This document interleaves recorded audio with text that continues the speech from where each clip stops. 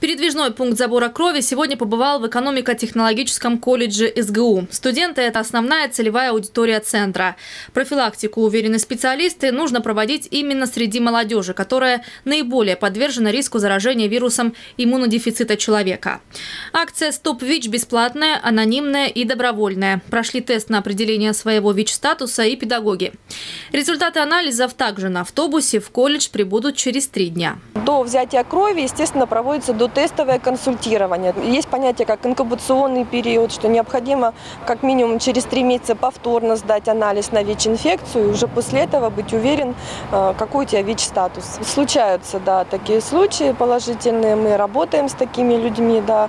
Естественно, человек повторно пересдает кровь. Мы по одному результату диагноз ВИЧ-инфекции не выставляем. То есть мы работаем с такими людьми дальше.